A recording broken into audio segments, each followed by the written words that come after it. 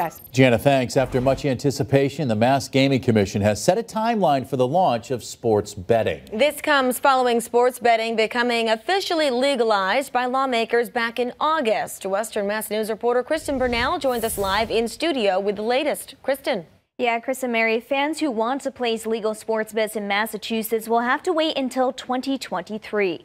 Members of the state's gaming commission spent hours over the course of the last last week, over two days, discussing and eventually approving the launch of in-person Category 1 sports betting at places such as casinos by late to January 2023.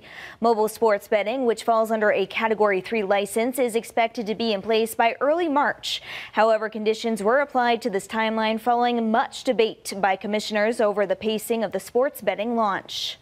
If we were to propose a date certain, I'm just for discussion purposes only, and as part of the motion, we could add language that said something like understanding that should be that should there be staff or public comment issues brought up that would not allow for launch on this date, that the commission would meet to discuss and take further action.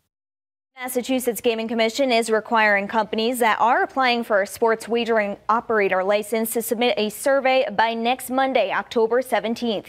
This survey will ask for specific company information and provide the Gaming Commission with valuable information before the full applications are due. And coming up later tonight on Western Mass News, we're getting local reaction to this latest timeline for the launch of sports betting in the Bay State. For now, reporting live at studio, Kristen Burnell, Western Mass News. Kristen, thank